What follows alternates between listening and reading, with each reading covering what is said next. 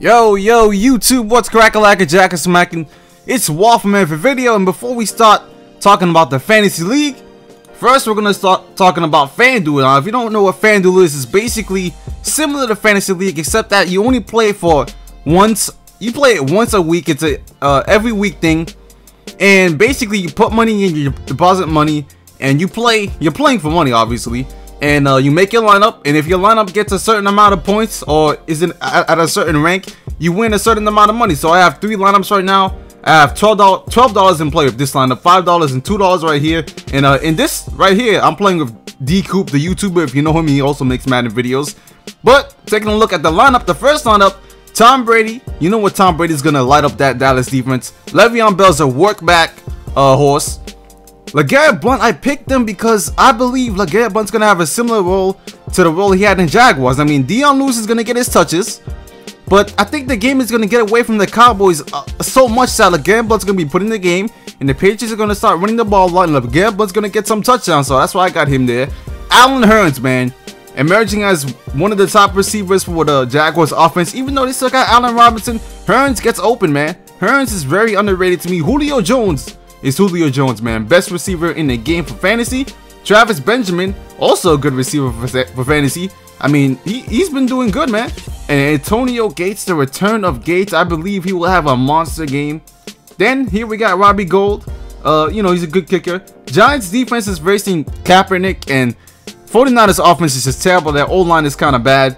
And uh, yeah, so this lineup, I hope I, I, I win some money in this lineup. I mean, uh, please, man. Chance to win $2 million. I mean, th th th this is huge. Right here, we got Philip Rivers, uh, Le'Veon Bell. Philip Rivers dice up that Steelers defense. Le'Veon Bell again, same reason. LeGarrette Blunt, same reason. Julio Jones and Allen Hurns again. Uh, Jeremy Maclin's been getting a lot of targets. Bears defense hasn't been too kind to, uh, it hasn't been too great against receivers, so that's why I got Jeremy Maclin instead of Benjamin there. Uh, Antonio Gates again. This time I got Sebastian Janikowski because he's an elite kicker. And Broncos defense is probably the best defense in the league, at least for fantasy wise. And then the last lineup, uh, Tom Brady, obviously. Dion Lewis, uh, who should get a lot of touches in this game's game in the Patriots. Matt Forte is also a work back or a workhorse uh, running back like Le'Veon Bell. Julio Jones, of course, Allen Hurns, Travis Jefferson. This time we got Owen Daniels. Owen Daniels is definitely a guy to watch for because Raiders defense has been among the worst against tight ends. And uh, yeah, Owen Daniels is going to receive a lot of targets in the red zone. I mean, he always gets targets in the red zone, so look out for him. And Carlos Santos right here. Uh, last week he had 25 points fantasy wise for kicking. That's ridiculous. And and honestly, the Chiefs offense, you see, I pick offense that are like get in the red zone, but at a you know at a some point they don't really like score that much in the red zone, you know, as other teams do. So Kyle Santos is definitely in that offense. And then again, we got the Broncos defense. So yeah, if you don't play FanDuel, you don't got to because uh, you gotta use money. But in the case that you do play, you know, sometimes you do win some money, and that's why I'm gonna start getting into this thing. It seems like a fun idea, and uh, seems like a great thing to do. You know, just just to use some cash. You know, if you got some extra cash laying out, try to win. Try, try to play and win and see if you could do, man. I mean, if I could, if I could come away out of this with like thirty dollars, yo, I'll be good.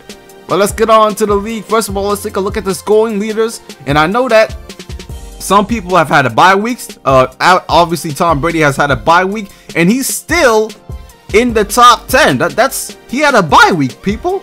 He had a bye week, and he's still as a top 10. So Cam Newton has a bye week this week. But if you look at the top people right here, and DeAndre Hopkins already played, so of course his stats are going to be inflated.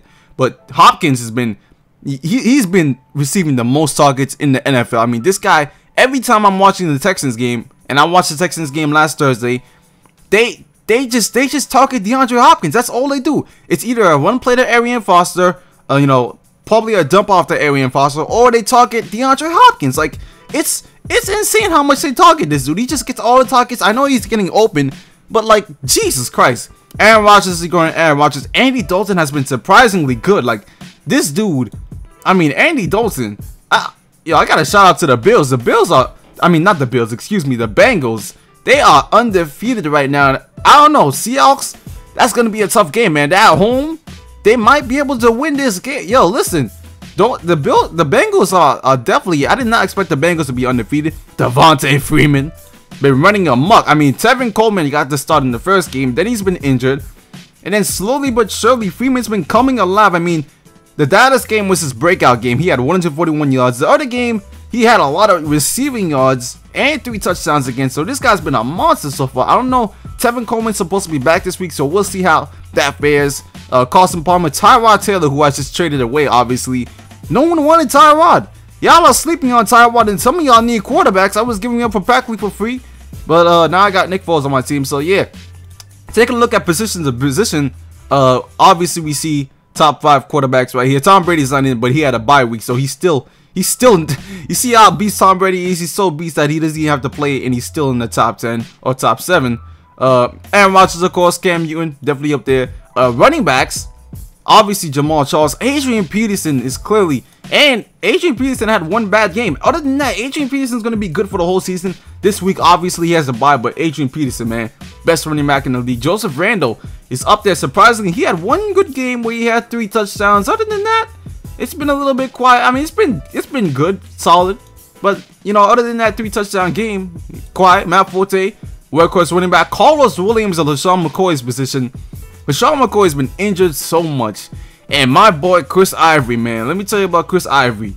Technically, he's only played like one game fully. Or not one game, but two games fully. This game, he was in this game for like half the game. He was, he was, didn't even play a half. So this game was like, eh. I mean, and it still has six points in it, but really, he, he's been scoring over 16 points a game, over 17 points a game, 22, 22 right here. This guy, yo, watch out for Chris Ivory, man. And then we obviously know Julio Jones, Larry Fitzgerald is definitely a surprise. Brandon Marshall looks better in the Jets offense, which is crazy. Benjamin also doing great. At tight end, obviously Rob Gronkowski, everyone beats him. Travis Kelce has stepped down a little bit to me, but you know, uh, he's still doing good in that offense. Charles Clay, Greg Olsen, of course. Kickers, obviously we got Steven Hauschka because you know the Seahawks offense can never get in the end zone, goddammit. Uh, Brandon McManus is this guy just hits it from 50, hits it from 51, hits it from 49. He can do it all. And Carlos Santos, the guy I'm talking about again, 25 points in the last game. Look at that. Look at that. Big 25 right there. And the defense, who but the Broncos, obviously, these are the top five defenses in fantasy. New York Jets not one of them, but you know the top seven, top eight. Uh, Broncos, Cardinals, Panthers, Seahawks. Uh, yeah, these are the top defenses. If you have them, you're good. If you have these defenses, you're good. But now let's take a look at the league real quick. Uh, some transactions that uh have took place or that have been made, and you know a lot of people. All right, first of all, let's look at the trades because uh Victor Cruz was Stevie Johnson and Jason Witten. Now, I don't know why you people are really valuing Victor Cruz. I really don't understand it. I'm a Giants fan. I watch the Giants games, and uh, Victor Cruz hasn't played for a long time. Like, I know Victor Cruz is supposed to bring something to this offense, but Ruben Randle's looking good. Uh, who's that guy? Dwayne Harris looks good. Odell Beckham Jr. is gonna OBJ. So when Victor Cruz come back, it's like there's gonna be so many people to throw to. I don't think Victor Cruz is not really a number one receiver uh, on the team. Obviously, he's Odell Beckham Jr. But Victor Cruz hasn't been playing. Like he's out again. He was supposed to be playing in the season beginner. Like I don't. This guy's always getting injured now. I'm like, what, what's wrong with this? Like, what's good with him? But definitely the person who won in this trade was Packers suck because Stevie Johnson to me is a better option than Victor Cruz. I mean, Stevie Johnson is he's competitive. He's definitely gonna get a lot of targets from Philip Rivers. Jason Witten was a great tight end he got in the trade, so that's even better for him. They're both out anyways. But uh, yeah, Roddy White obviously he's not having a great season. He's I don't know. He's he's definitely not. I don't know what's wrong with him, but he wants out of Falcons. We'll see about that. Cam Newton and Latavius Murray for Drew Brees and Adrian Peterson. Man, you people, you people just want to lose in this league. How can you trade the best running back in fantasy? I mean, not in fantasy, but he's the best running back in the league, and he's still putting up the numbers in fantasy. If it wasn't for the first game, which he was rusty, he hasn't played in like a year, and he's still dominating. Look, look at this. And this game, he had a fumble, which would have made him have like 20 points. Like, this dude you can't trade Adrian Peterson and get nothing back. Like, I, I understand you're getting Cam Newton, top uh, five quarterback fantasy-wise, but, like, you gave him Drew Brees, too. Like, in Latavius Murray, I'm sorry. Latavius Murray has been injured throughout his career.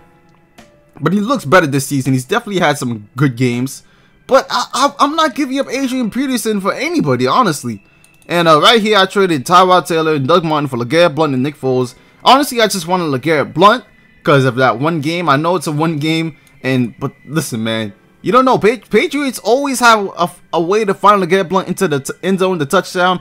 I told y'all niggas about Eric Decker. You didn't listen about Eric Decker. Eric Decker gets a touchdown every game. And what does he have?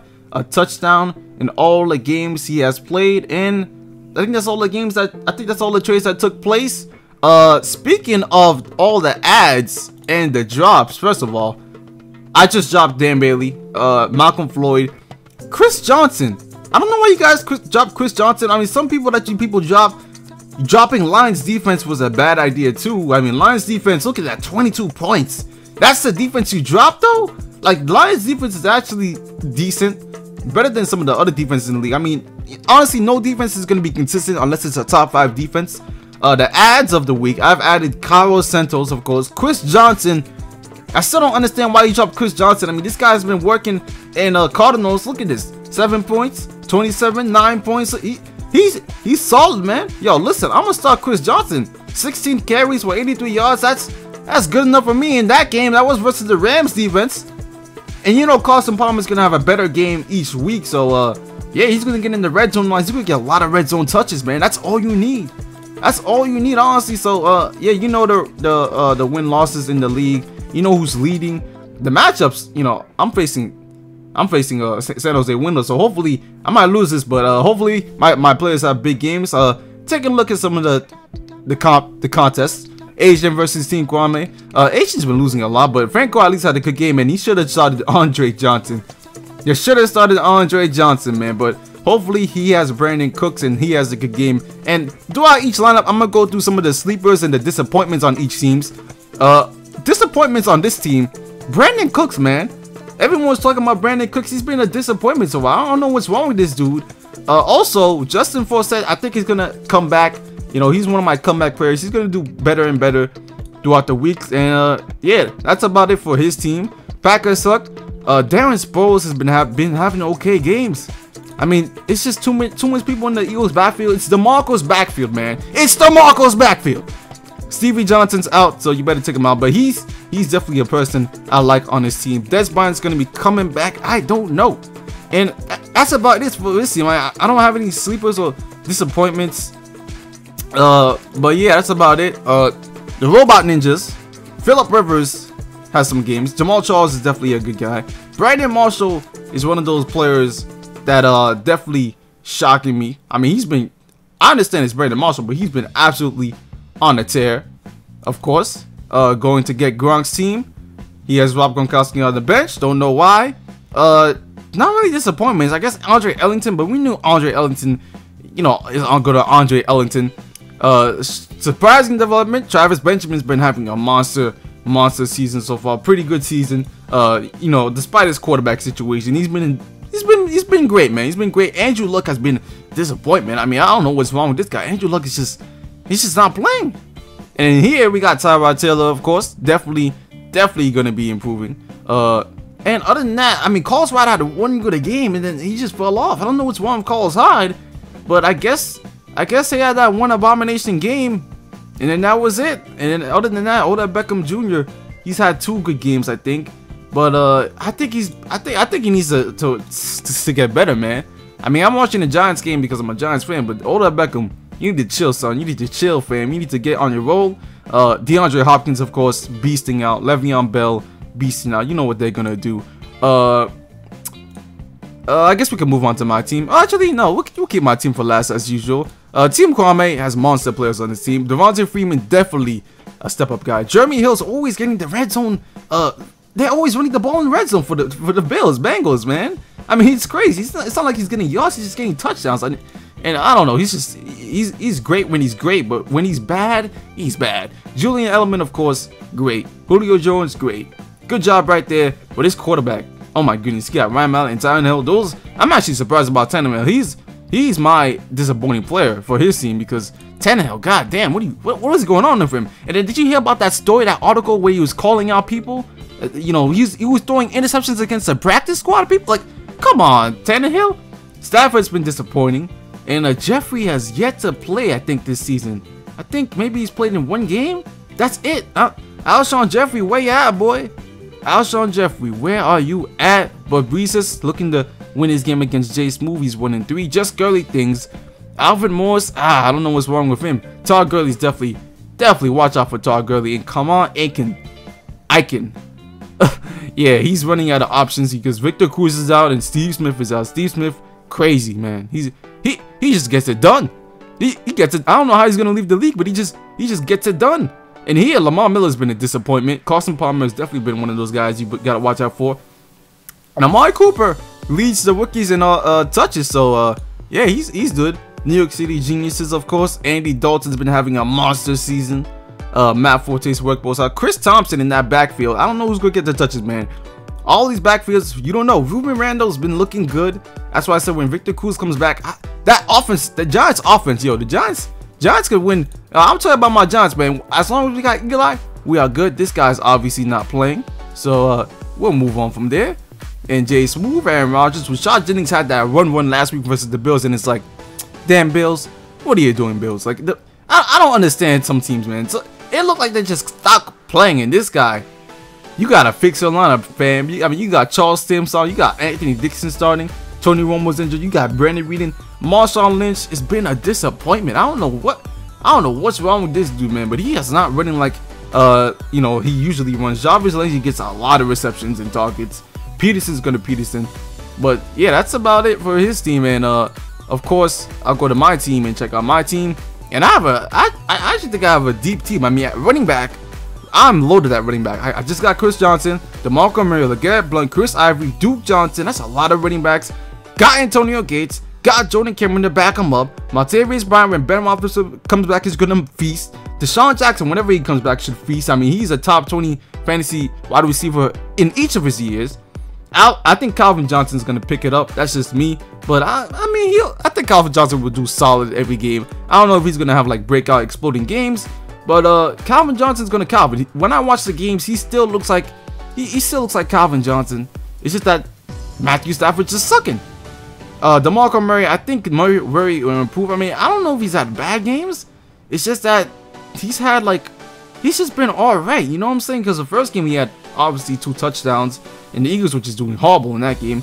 The second game, the Eagles weren't even like, I don't know what the Eagles are. The Eagles are just trash. I'm sorry. If you're an Eagles fan, they're just trash. And uh, yeah, that's about it for everyone's team. But so, you know, every week I'll be doing these videos again. This one was kind of long. But anyways, remember what I said about FanDuel? Try it out if you got money, extra money around, and you want some competitive fantasy matches. But yeah, that's it for now, YouTube. I'm out. Peace.